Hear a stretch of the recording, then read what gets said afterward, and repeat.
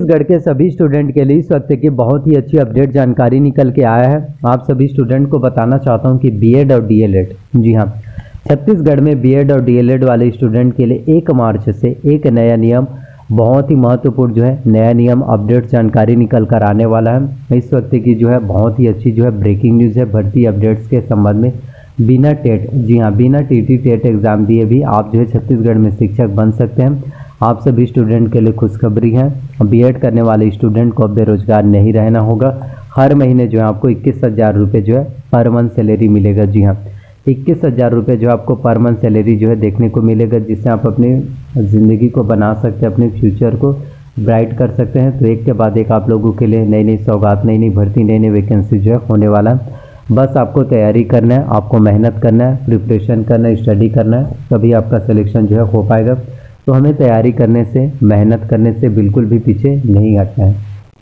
जितना ज़्यादा हम तैयारी करेंगे, जितना ज़्यादा हम मेहनत करेंगे, जितना ज़्यादा हम पढ़ाई करेंगे, उतना ही हमारे लिए अच्छे होगा, उतना ही हमें एक अच्छा बेहतर रिज़ल्ट मिल पाएगा और हमारा सिलेक्शन भी अवश्य रूप से हो पाएगा। तो छत्तीसगढ़ में बी और डी वाले स्टूडेंट के लिए बहुत ही महत्वपूर्ण जो है होने वाला है। इक्कीस हज़ार रुपये आपको पर मंथ सैलरी मिलेगा। देखिए हर एक स्टूडेंट का सपना होता है, एक अच्छी जॉब पाना, एक अच्छी सैलरी पाना। अगर आपको एक अच्छी जॉब दिया जाए, एक अच्छी सैलरी आपको पैकेज मिलेगा तो आपकी ज़िंदगी बहुत आसान होगा और आप अपनी ज़िंदगी में अपने सपने को पूरा कर पाएँगे। अगर आपके पास जॉब ही नहीं होगा, एक अच्छी सैलरी आपको नहीं मिलेगा, वेतन नहीं मिलेगा, तब तक आप अपनी ज़िंदगी को कहाँ से अच्छे से जी सकते हैं?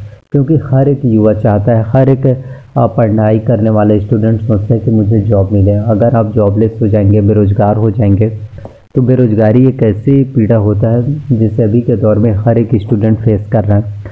तो ऐसे में आप सभी स्टूडेंट के लिए ब्रेकिंग न्यूज़ है। बिना टेट एग्ज़ाम दिए भी आप जो है शिक्षक बन सकते हैं, लेकिन हाँ आपका ग्रेजुएशन कंप्लीट होना चाहिए बीएड कंप्लीट होना चाहिए, तभी आप आवेदन कर पाएँगे।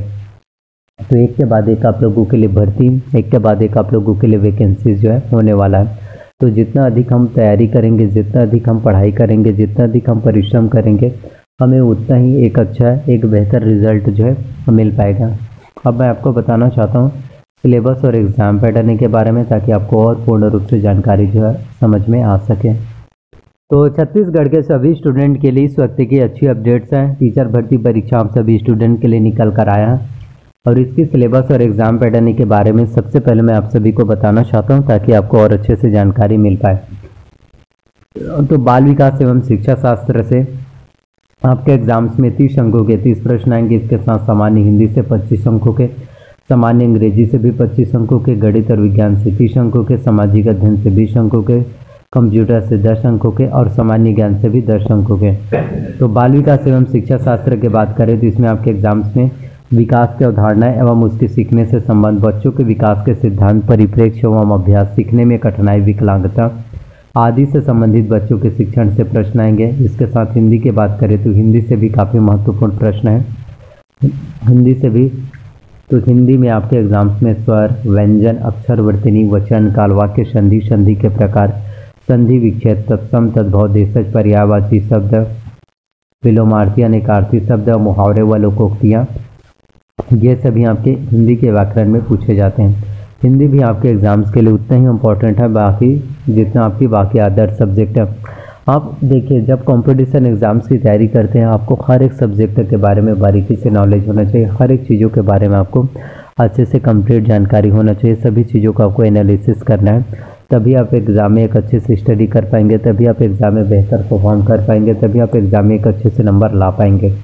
तो हिंदी की तैयारी करने के लिए आप जो है दिल्ली आई एस अकेडमी का बुक ले सकते हैं। तो यदि आप दिल्ली आई एस अकेडमी के बुक से हिंदी की तैयारी करेंगे तो आपको हिंदी के बारे में कंप्लीट नॉलेज मिल पाएगा और आप हिंदी में बहुत अच्छे से नंबर ला सकते हैं। इसके साथ मैं आपको बताना चाहता हूँ इंग्लिश के बारे में। तो इंग्लिश में आपके एग्ज़ाम्स में जो है ग्रामर्स आएँगे।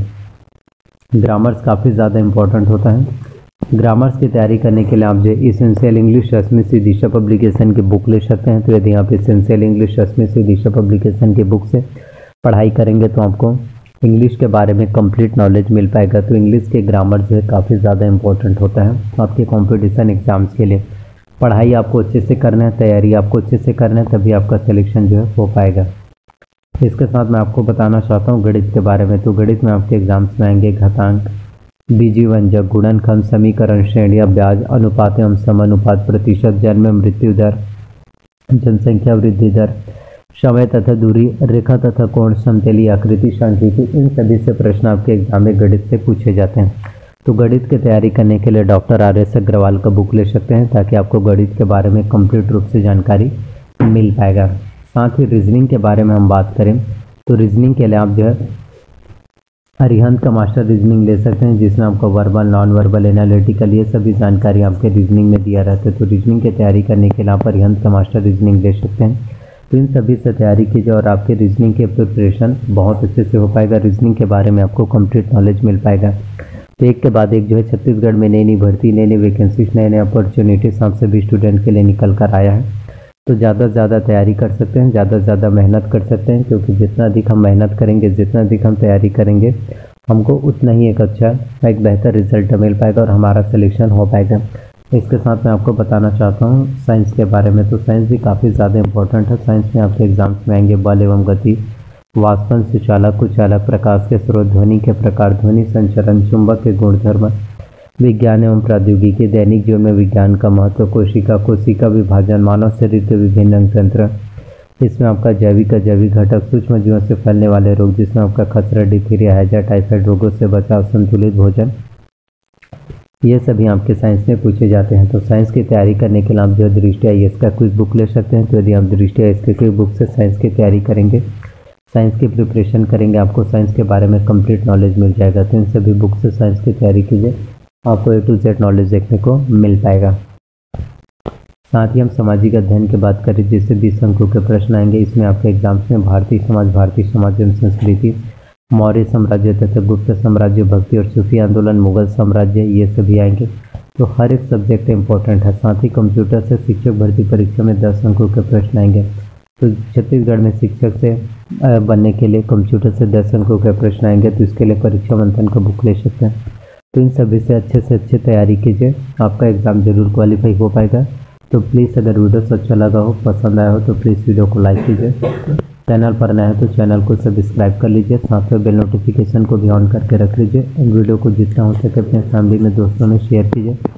तो इसी तरह से मेरे चैनल्स पर नई नई वीडियोस नई नई भर्ती, नई नई वैकेंसी हम सभी स्टूडेंट के लिए निकल कर आते जाएँगे। तो ज़्यादा से ज़्यादा मेहनत कीजिए, ज़्यादा से ज़्यादा एग्ज़ाम्स की स्टडी कीजिए प्रिपरेशन कीजिए, तैयारी कीजिए। आपका सिलेक्शन जो अवश्य रूप से हो पाएगा और कामयाबी सक्सेस तो एक दिन का बात नहीं है। आपको लगातार मेहनत करना होगा। लगातार आपको स्टडी करना होगा, पढ़ाई करना होगा, तभी आपको इसका एक अच्छा एक बेहतर रिज़ल्ट मिल पाएगा और आपका सिलेक्शन हो पाएगा। शेयर कीजिए वीडियोस को, धन्यवाद।